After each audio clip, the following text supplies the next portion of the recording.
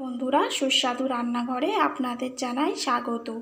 আজকে আমি বানাবো কম তেল মশলায় ঝিঙে, আলু, পোনা মাছের ঝোল। পোনা মাছের ঝোল বানানোর জন্যেই আমি প্রথমে মাছটা নুন, হলুদ মিশিয়ে নেব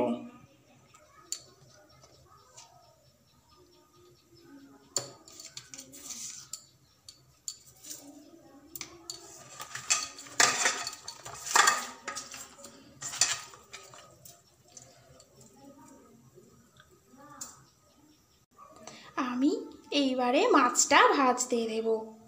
কড়াইতে সর্ষের তেল দিয়ে দেব।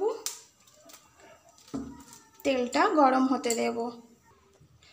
কড়াইতে তেল গরম হয়ে গিয়েছে, এইবারে আমি মাছগুলো ছেড়ে দেব।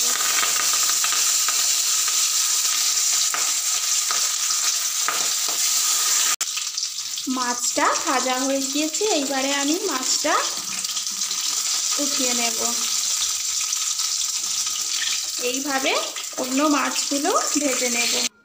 এইবারে আমি এই একই মাছ ভাজার তেলে কেটে রাখা পেঁয়াজ আর কাঁচা লঙ্কা দিয়ে দেব।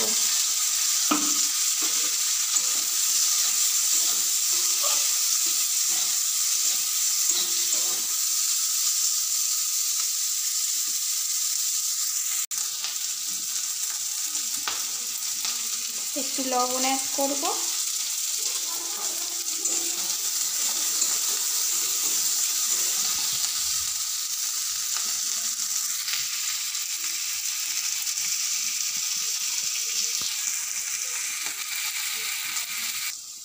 পেঁয়াজটা হালকা ভাজা হয়ে গেলে আমি এবারে একটু আদা বাটা দিয়ে দেব।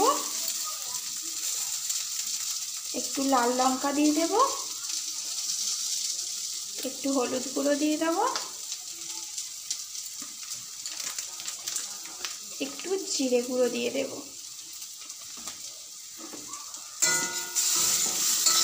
এইবারে ভালো করে সব মশলাগুলো একসাথে কষিয়ে নেব।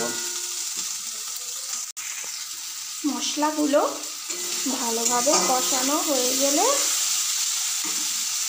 আমি কেটে রাখা ঝিঙে আলুগুলো দিয়ে দেব।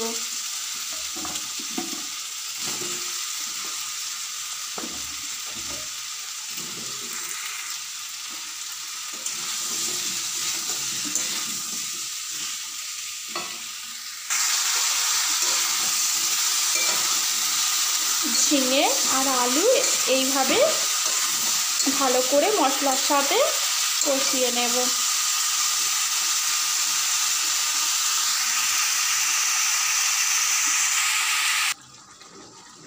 এবার আমি জল অ্যাড করে দেব।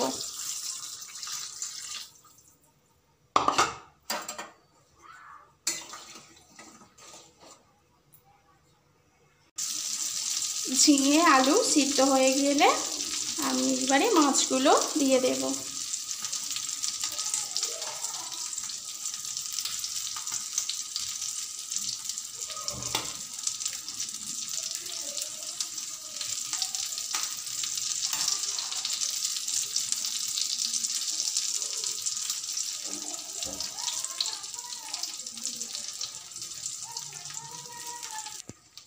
এইবারে আমি মাছের ঝোলটা ফোড়নের জন্য কড়াইতে একটু তেল দিয়ে দেব।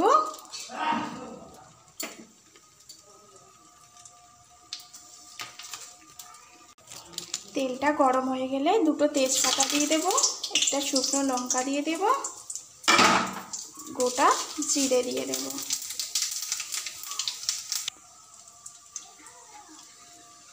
ফোড়নগুলো হালকা ভাজা হয়ে গেলে আমি এখানে একটু জিরে আর গোলমরিচ বেটে রেখেছিলাম, সেটা দিয়ে দেব।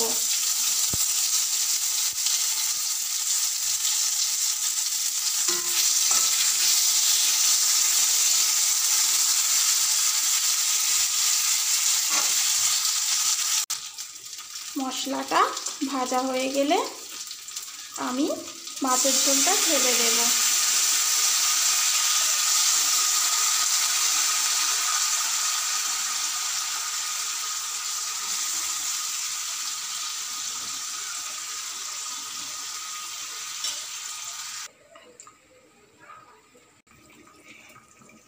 মাছের ঝোলটা ফুটে উঠলে এইবারে আমি মাছের ঝোলটা নামিয়ে নেব।